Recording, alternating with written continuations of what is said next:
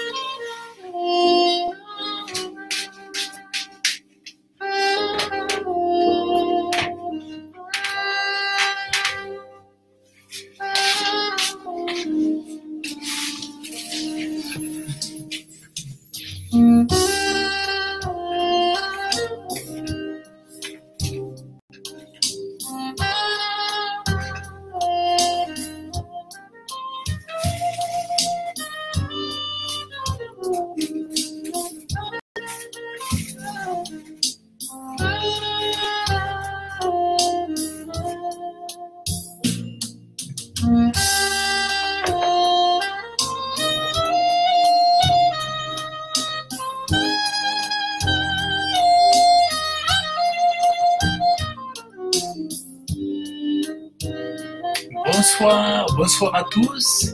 Nous allons bientôt commencer. Que Dieu vous bénisse abondamment dans le nom de Jésus. Alors le sujet ce soir c'est comment l'ennemi s'y prend-il pour nous détruire. Donc voilà, je vais attendre un petit peu les, nos invités et puis, euh, puis on va pouvoir lancer la vidéo. Alors ce soir, je commence un peu tard, mais bon. hein.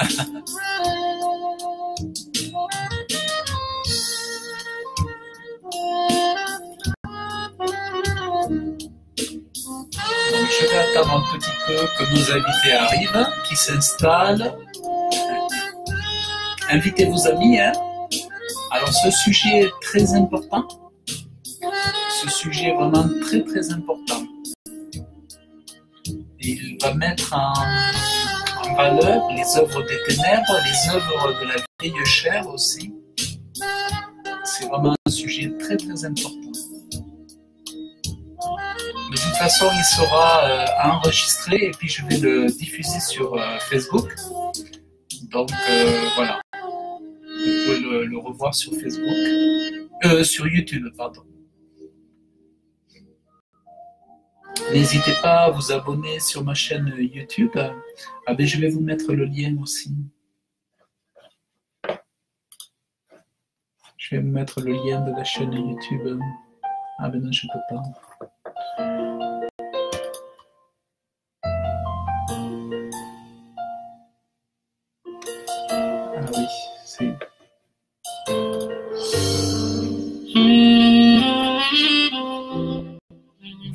Donc on va partir, on va démarrer. On va démarrer, on va démarrer. Comment l'ennemi s'y prend?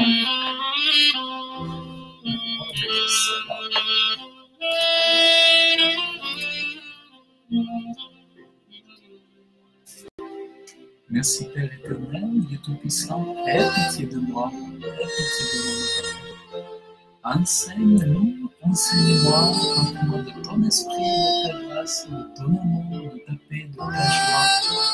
Donne-moi, Père, parler au cœur de tes enfants, d'aider, de soutenir, de délivrer, de guérir, Père, dans le nom de Jésus. Viens au secours de tes enfants, viens faire du bien, Père éternel, Dieu tout-puissant, Créateur du ciel et de terre. Merci, merci que soit merci d'amour.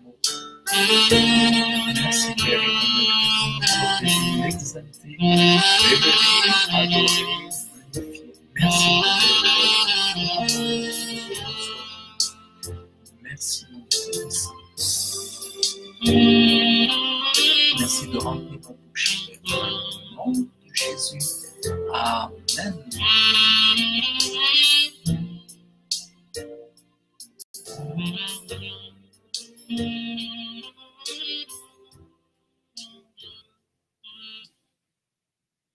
Voilà, donc, euh, alors bienvenue à tous, euh, à toutes. Donc, euh, que Dieu vous bénisse abondamment. Alors, donc, voilà, le sujet, nous l'avons, c'est comment l'ennemi s'y prend. Comment l'ennemi s'y prend. Alors, on va... Hop. Hop, hop, hop, hop, hop. Nouvel enregistrement.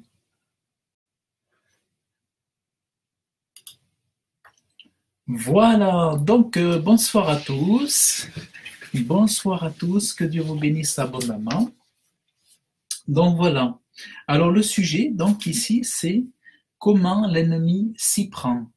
Alors l'ennemi, euh, ben, nous avons plusieurs ennemis et dans les ennemis que nous avons, euh, nous avons euh, souvent, nous avons nous-mêmes. Euh, nous avons nous-mêmes, nous avons nos pensées, nos habitudes, notre façon euh, de d'être. Euh, et puis nous avons donc les les hommes aussi, les autres, les ennemis qui sont les hommes qui s'opposent à nous. Nous avons aussi des puissances spirituelles euh, et euh, nous avons les puissances spirituelles qui utilisent donc les autres hommes pour nous, euh, pour nous nuire et pour chercher à nous détruire. Et donc, donc nous avons les démons, donc qui sont ces esprits méchants, et nous avons le diable et tout et tout ça. Donc voilà, on a des, des ennemis.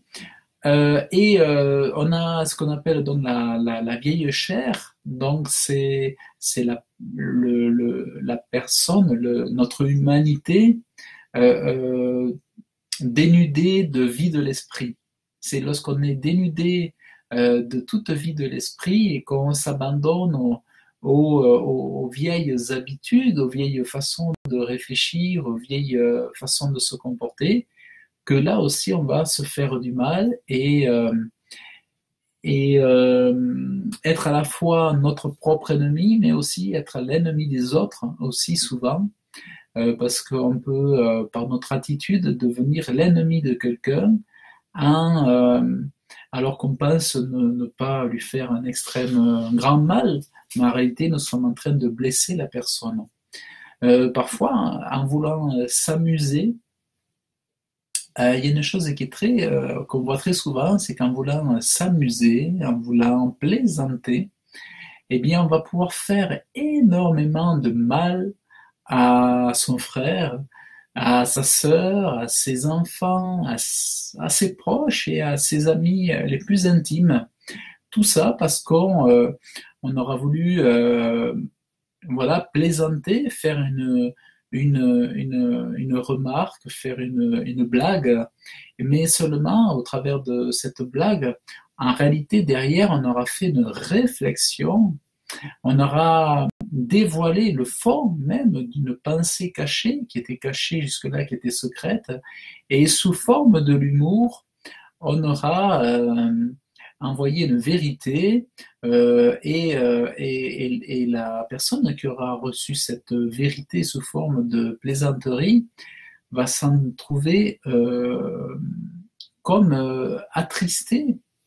Et le simple fait d'être attristé par une parole, c'est aussi une façon de, nuire, de faire du tort à l'autre. Une façon de faire du tort et du mal à l'autre, c'est pas forcément lui donner un coup de poing. il suffit pour cela parfois de donner une mauvaise tournure de phrase, de mal s'exprimer, d'être euh, maladroit ou d'être euh, euh, alors d'être maladroit ou, aussi de manquer de, de politesse. Une impolitesse, une manque, une maladresse peut complètement faire du mal à l'autre. C'est pour ça qu'une bonne éducation va, en tant que parent, va permettre aux enfants de d'avoir des meilleures relations, d'avoir des meilleurs euh, euh, des meilleurs résultats dans les relations. Euh, souvent, un manque de voilà, manque de méthode, un manque d'approche au, niveau des autres et de, savoir-faire, de savoir-être peut amener, engendre des, des situations euh, euh, qui, font mal et qui font mal à tout le monde. Donc, euh, alors, pour reprendre des exemples concrets de la Bible, euh, la Bible explique vraiment, vraiment en détail, quand on étudie la Bible, on voit énormément de détails où on voit comment on, nous, on peut se faire mal ou comment on peut nous faire mal, mais aussi comment on peut faire mal aux autres dans des petites choses. Il est décrit dans la Bible, chaque fois qu'elle montait à la maison de l'Éternel, Pénina la chagrinait ainsi, et elle pleurait et ne mangeait pas. Et il est écrit, et son ennemi, Anne, à donc, l'ennemi à Anne, l'a chagrinée aigrement afin de la pousser à l'irritation. Une façon de nuire à l'autre, je ne sais pas si tu t'es déjà mis ça, euh, si tu as réalisé ça déjà, une façon de nuire à l'autre sans forcément lui donner un coup de poing, ou euh, c'est de chagriner. Le simple fait de chagriner, le simple fait d'attrister par des petites choses, des petits détails, des petites paroles qui vont chagriner, eh bien, ce sont ces choses-là qui vont amener un esprit à s'irriter. Bien, je me souviens de Moïse qui s'était irrité et qu'à cause de cette irritation, Moïse n'a pas pu se rendre dans le pays promis à Canaan. Et Dieu a dit à Moïse, puisque ton esprit s'est irrité, et pourquoi l'esprit de Moïse s'était irrité? Parce que l'attitude des autres l'avait forcé, l'avait poussé à l'irritation. Et de ce fait, il a péché contre Dieu finalement, entrer dans l'irritation, c'est, les prémices de la colère. Et devant Dieu, une irritation, une, euh, c'est, déjà euh, une mauvaise pensée. Ce n'est pas une pensée de, douceur, de bonté, d'amour, mais déjà l'irritabilité, de venir entrer dans l'irritation due à ce que quelqu'un t'a créé du chagrin, du chagrin, eh bien, à ce moment-là, tu es déjà, euh, tu as déjà été provoqué et ton ennemi a, en ce sens-là, déjà sur ce point-là, il t'a vaincu. vous voyez comment c'est grave, comment par des petites choses. Donc cette Pénina, donc Pénina venait et elle chagrinait à chaque fois, elle venait causer du chagrin. Et de chagrin, de la tristesse, est venue à force du chagrin, comme quoi on peut passer du chagrin à l'irritation lorsque quelqu'un vous cause du chagrin, vous fait du, vous fait du, mal intérieurement, eh bien, petit à petit, cette personne peut vous amener sur une voie qui vous éloigne de Dieu, qui vous éloigne de la promesse, qui vous éloigne de votre Canaan. Donc ça vous éloigne de votre Canaan, c'est ça qui est incroyable. Il est, donc ça, vous l'avez dans 1 Samuel, chapitre 1, verset 6. Donc pensez-y, le chagrin qu'on peut causer à l'autre. Donc c'est valable aussi pour le chagrin que tu peux causer à quelqu'un autour de toi. Donc prends soin je dirais, prends soin de ne pas chagriner autour de toi. Prends soin de faire attention à ce que tu vas dire. Prends soin de euh, de, pas, de pas faire du mal. Chaque jour, il médite des tromperies. Dans le psaume 38, verset 13, il est dit Chaque jour, il médite des tromperies. Et le dictionnaire, il dit que la tromperie, c'est l'action faite pour tromper, pour duper. En fait, c'est induire en erreur, c'est agir contrairement à ce qui a été entendu, et euh, c'est endormir l'autre, en fait, en gros, c'est endormir l'autre, le détourner de, l'objectif, en fait. Donc, euh, la, la tromperie, c'est une façon, ben voilà, c'est la façon de, faire du mal à l'autre. Donc, ce que Dieu, ce que Dieu nous conseille là, c'est de ben, d'être vrai, de dire la vérité et euh, d'oser dire la vérité et de euh, Dieu dira dans la Bible de temps en temps euh, dites la vérité selon votre cœur. Dites la vérité selon votre cœur c'est-à-dire ne, dites pas quelque chose que vous ne pensez pas. N'allez pas dire quelque chose qu'au fond, euh, vous ne pensez pas. Mais dites vraiment les choses vraiment telles qu'elles sont. Dites la vérité. Alors, bien sûr, il ne s'agit pas de dire la vérité comme euh, le font certains. Ou, euh, il y en a, ils disent Moi, je suis franc. La question n'est pas de dire je suis franc et de faire du mal à tout le monde, Là, la question, c'est d'être vrai, de dire vraiment les choses vraies, ne pas dire des choses fausses, ne pas tromper euh, ses, proches. En fait, c'est le mensonge, quoi. Donc ici, l'attaque, vous voyez, on a vu deux attaques. C'est l'attaque qui est causée par le chagrin que nous fait l'autre. Et la deuxième attaque qu'on vient de voir, c'est l'attaque qui consiste à tromper, donc à mentir. Ensuite, ceux qui cherchent mon mal parlent de ruine. Une autre attaque, c'est de parler en termes d'insuccès et en parler en termes de ruine contre son prochain. Par exemple, tu n'y arriveras pas, tu es incapable. Et euh, par exemple aussi, c'est euh, chercher à nous enlever la santé, chercher à nous enlever la motivation, chercher à nous enlever la joie, chercher à nous enlever la gaieté de cœur, la bonne santé. L'attaque consiste donc à nous ôter la santé, la prospérité, mais aussi à la doctrine. Donc, euh, une bonne santé, c'est aussi une bonne doctrine. C'est euh, tout ça. Et par exemple, on lit dans Psaume, donc je vous l'ai lu tout à l'heure, c'est Psaume 8, 38, verset 13.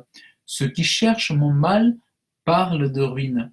Et là, la ruine, ça peut être une ruine à plein de niveaux possibles. Donc, ça va être la, ruine de la santé, la ruine financière, la ruine spirituelle, la ruine des relations, la ruine dans le mariage, euh, la ruine dans la perte du, salut pour euh, vos enfants, euh, la ruine pour la perte du travail. En fait, il y a plein de malédictions comme ça, de ruines qui peuvent être semées par des ennemis pour, euh, pour détruire. Donc, ceux qui cherchent mon mal parlent de ruine. Il se, dit donc dans le langage commun, ce n'est plus que euh, en fait la ruine c'est quelqu'un qui a beaucoup perdu. La ruine c'est vraiment quelqu'un qui a tout perdu, qui a tout perdu de ses qualités physiques et morales.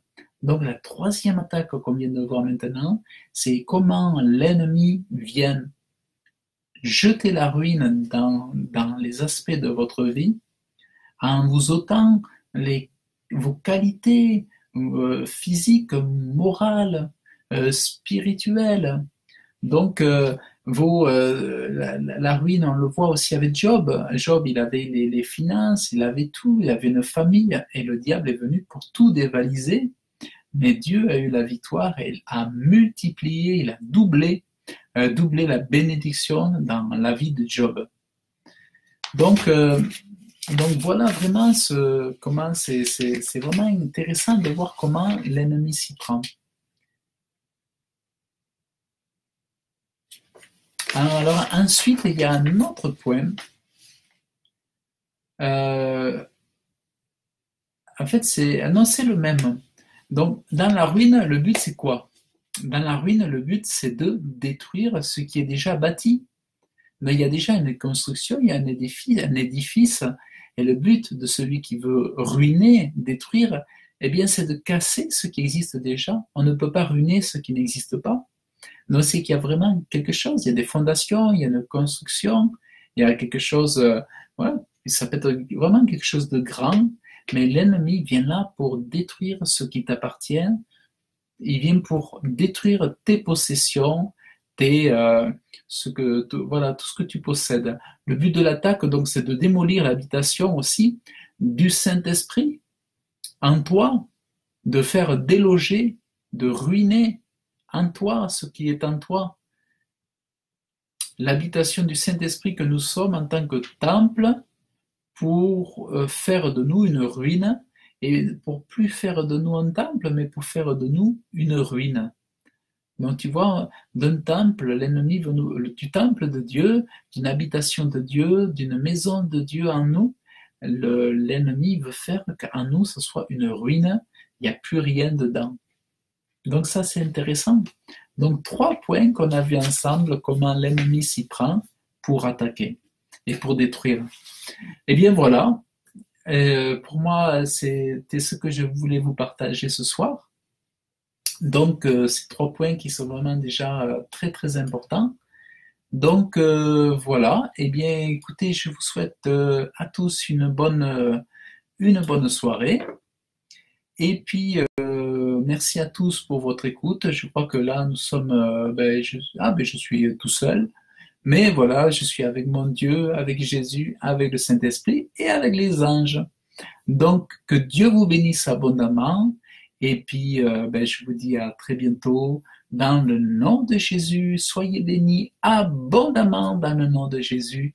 Amen. Et tout le peuple dit Amen.